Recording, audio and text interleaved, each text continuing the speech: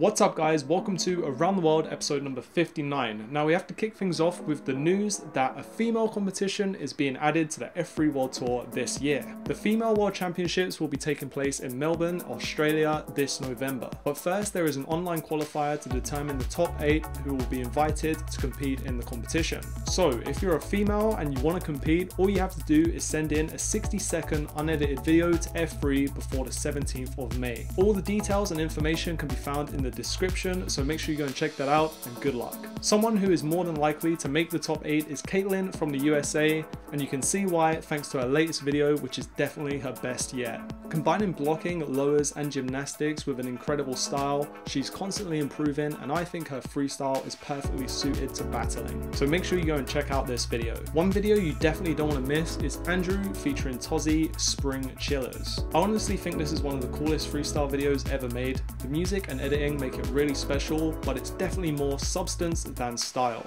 Both of these guys have so much variety in their combos, it's just unreal. It's impossible to pick out a favorite clip. So make sure you go and check this out before your next training session because it will definitely get you up for it. Next up, we have Andrew Henderson and his latest video in Australia.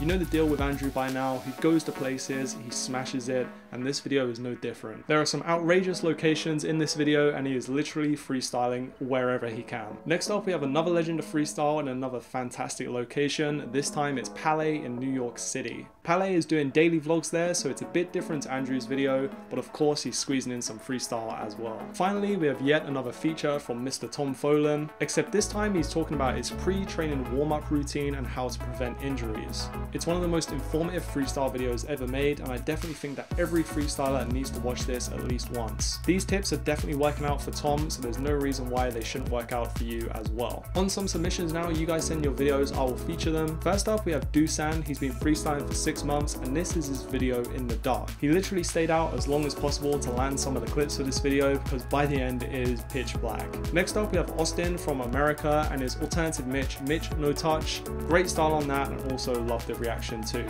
Finally, we have Dort from Australia with this Beck Magellan. Very explosive, and love the height you got on it as well atwshow at gmail.com. That's the place where you need to send in your videos, tell me a bit about yourself, and also leave a YouTube link so I can shout you out in the description. And this week's question of the day or question of the week, whatever we're calling this segment, is who do you want to win the female world championships at the end of the year? So leave a comment, let me know who your favorite female freestyler is and also some freestylers that may be a surprise package in the competition as the female scene is growing very fast. And that's it for Around the World 59. If you enjoyed it, make sure you smash that like button, leave me a comment and also subscribe if you're new and I'll see you all next time. Take care, peace.